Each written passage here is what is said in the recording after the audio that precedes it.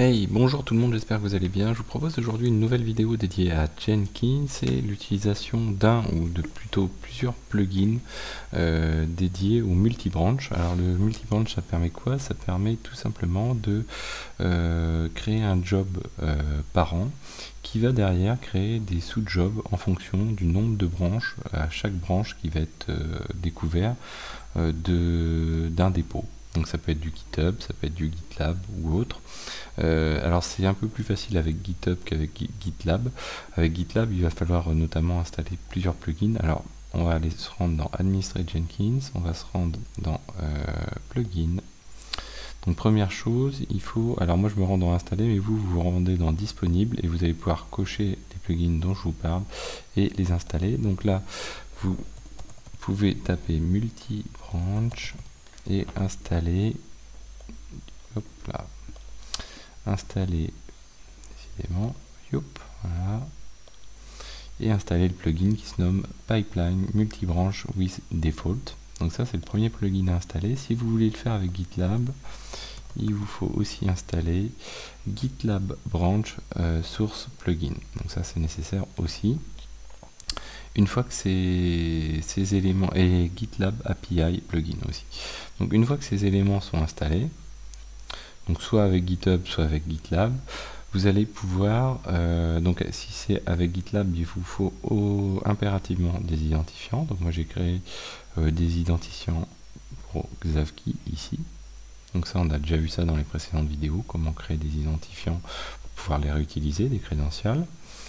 On va se rendre maintenant dans, euh, pour pouvoir tester cela, moi j'ai créé, donc Deuxième élément à faire, si vous utilisez notamment GitLab, avec GitHub ça va être un peu plus facile, mais avec GitLab, il faut sur votre serveur Jenkins installer impérativement Git.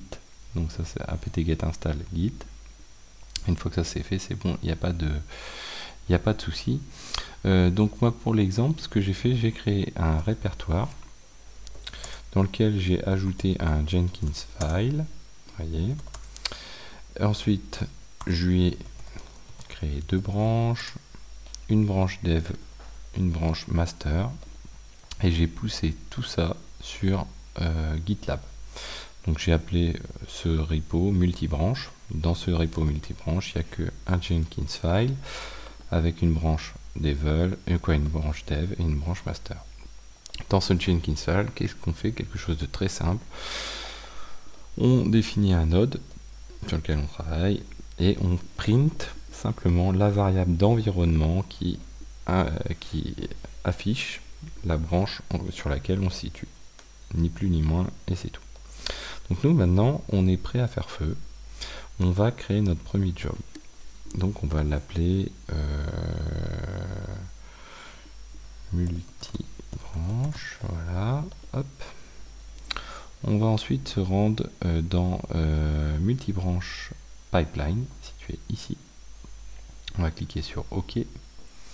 Une fois qu'on s'est rendu ici, on va pouvoir ajouter une source. Donc nous, on va choisir un projet GitLab ici. Euh, auparavant, ah oui, alors on va revenir. Auparavant, ce qu'il faut avoir fait pour GitLab, il faut se rendre dans Administrate Jenkins, configurer système. Vous allez rechercher GitLab dans ça, voilà, toc, et dans GitLab, pardon, vous, avez, vous allez indiquer le serveur GitLab en question. Donc moi, c'est le serveur gitlab.com le plus courant. Et vous allez enregistrer. Une fois que ça c'est fait, donc vous pouvez continuer ici. Vous allez avoir donc à votre disposition le serveur GitLab. S'il y en a plusieurs, vous pouvez en choisir un autre. Le crédential, vous allez utiliser la crédentiale que vous avez, que vous avez habituellement. Le owner de, euh, de la branche, donc moi en l'occurrence c'est et je peux aller sélectionner parmi les projets euh, du, comment, du serveur et euh, du owner en question euh, le, comment, le projet en question. Ensuite, on va pouvoir définir une stratégie pour récupérer les branches. Soit on décide qu'on les récupère toutes, mais on n'est pas obligé de le faire. Par exemple, ici, on a une properties et on va pouvoir mettre des exceptions et dire voilà, la branche master, je la veux, je la veux pas, etc. etc. Moi, je reste sur quelque chose de simple.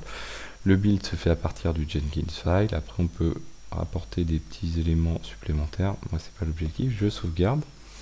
Et là, automatiquement, à la sauvegarde, qu'est-ce qui se passe?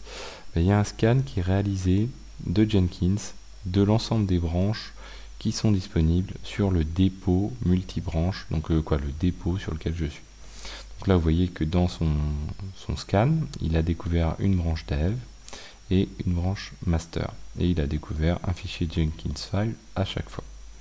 Donc qu'est-ce que ça donne? Maintenant, si je retourne à la racine de mon job multibranche, j'ai ici deux, euh, deux sous-jobs qui portent le nom de la branche, donc dev et master. D'ailleurs, ils ont déjà été exécutés, vous voyez, en bleu. Donc ils ont déjà été renés. Si je clique dessus, je vais pouvoir me rendre dans ce sous-job et éventuellement le relancer à la main. On peut bien sûr ensuite utiliser les webhooks pour GitLab, les, des triggers, etc. Euh, sur chacun, chacune des branches. Donc là, si je me rends dessus, qu'est-ce qui se passe? Donc là, j'étais sur le job, le sous-job de dev, et là, il m'indique bien que le print env de branch name correspond à dev.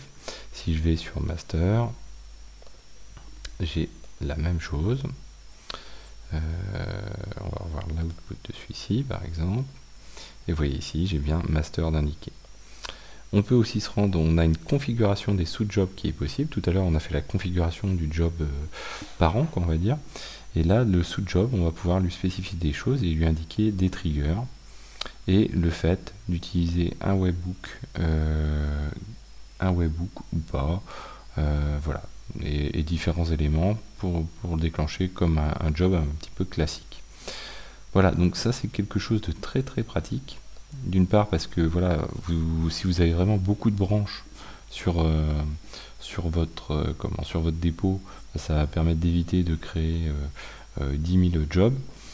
Euh, donc là, les jobs vont se créer de manière automatique et puis bah, ça va permettre quand même pour chacun des jobs de euh, personnaliser un petit peu les choses si c'est nécessaire. Donc ça, c'est plutôt quelque chose d'assez sympathique. J'espère que bah, voilà, cette vidéo vous a plu. N'hésitez pas à la partager et je vous dis à très bientôt sur Xavki.